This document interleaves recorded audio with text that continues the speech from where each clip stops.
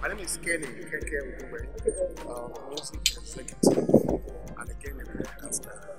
When we can say music 10, 15, 20 years ago was the hard sell. I remember when we were trying to come out with a song, with a record, um, they said we shouldn't be doing juju or we shouldn't do Fuji.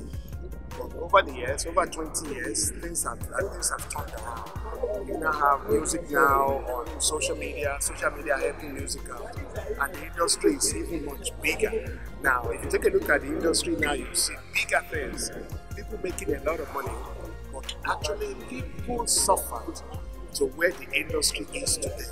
So if you are a new artist, want to come out, or you are already making it, remember that always remember. Because any river that does not remember the source is about to dry up. So the future is here. The future is digital. Be able to get your song, get it produced quickly, put it on internet, put it on social media, uh, monetize your work, get your work done because the future is here. And again, the future, you work with the future, you cannot go wrong. So watch out, all right? So many things happening now, and again, it's just the iceberg. Women are supported. We have more women now in the music industry compared to 10, 15 years ago, when we only had maybe two or three or four or five.